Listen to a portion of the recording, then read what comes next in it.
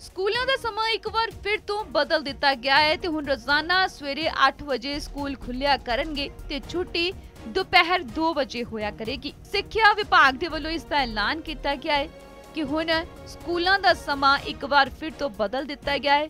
ਮੌਸਮ ਸਾਫ਼ ਹੋ ਚੁੱਕਿਆ ਹੈ ਅਤੇ ਮੌਸਮ ਨੂੰ ਦੇਖਦਿਆਂ ਪਹਿਲਾਂ ਸਮਾਂ ਬਦਲਿਆ ਗਿਆ ਸੀ ਸਰਦੀਆਂ ਦੇ ਕਾਰਨ ਅਤੇ ਹੁਣ ਗਰਮੀਆਂ ਦੀ ਸ਼ੁਰੂਆਤ ਹੋ ਚੁੱਕੀ ਹੈ। ਗਰਮੀਆਂ ਆ ਗਈਆਂ ਨੇ, ਮੌਸਮ ਸਾਫ਼ ਹੈ ਤਾਂ ਇਸੇ ਲਈ ਸਕੂਲਾਂ ਦਾ ਸਮਾਂ ਇੱਕ ਵਾਰ ਫਿਰ ਤੋਂ ਬਦਲ ਦਿੱਤਾ ਗਿਆ ਹੈ, ਜਿਸ ਵਿੱਚ 1 ਅਪ੍ਰੈਲ ਯਾਨੀ ਅੱਜ ਤੋਂ ਸਾਰੇ ਹੀ ਮਿਡਲ ਸਕੂਲ ਹਾਈ ਸਕੂਲ ਅਤੇ ਸੀਨੀਅਰ ਸੈਕੰਡਰੀ ਸਕੂਲ ਸਵੇਰੇ 8 ਵਜੇ ਖੁੱਲਿਆ ਕਰਨਗੇ, ਦੁਪਹਿਰ 2 ਵਜੇ ਛੁੱਟੀ ਹੋਇਆ ਕਰੇਗੀ।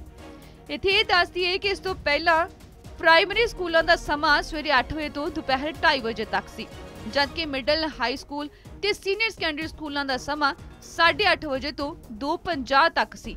ਪਰ ਹੁਣ ਇਹ ਸਮਾਂ ਬਦਲ ਦਿੱਤਾ ਗਿਆ ਹੈ। ਹੁਣ ਸਾਰੇ ਸਕੂਲ ਸਵੇਰੇ 8 ਵਜੇ ਲੱਗਿਆ ਕਰਨਗੇ, ਦੁਪਹਿਰ 2 ਵਜੇ ਛੁੱਟੀ ਹੋਇਆ ਕਰੇਗੀ।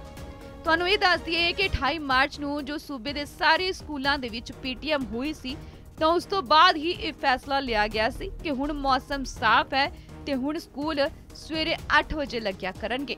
ਪੰਜਾਬ ਦੇ ਸਾਰੇ ਹੀ ਪ੍ਰਾਇਮਰੀ ਮਿਡਲ ਹਾਈ ਤੇ ਸੀਨੀਅਰ ਸੈਕੰਡਰੀ ਸਕੂਲਾਂ ਦਾ ਸਮਾਂ ਬਦਲ ਦਿੱਤਾ ਗਿਆ ਹੈ। ਇੱਥੇ ਵੀ ਕਿਹਾ ਗਿਆ ਹੈ ਕਿ ਸਤੰਬਰ ਮਹੀਨੇ ਤੱਕ ਸਾਰੇ ਹੀ ਸਕੂਲਾਂ ਦਾ ਸਮਾਂ ਇਹੀ ਨਿਸ਼ਚਿਤ ਰਹੇਗਾ ਕਿ ਸਵੇਰੇ 8 ਵਜੇ ਤੋਂ ਲੈ ਕੇ ਦੁਪਹਿਰ 2 ਵਜੇ ਤੱਕ ਸਕੂਲ ਚੱਲਣਗੇ, ਖੁੱਲਣਗੇ ਅਤੇ 2 ਵਜੇ ਤੋਂ ਬਾਅਦ ਸਾਰੇ ਸਕੂਲ ਬੰਦ ਹੋਣਗੇ।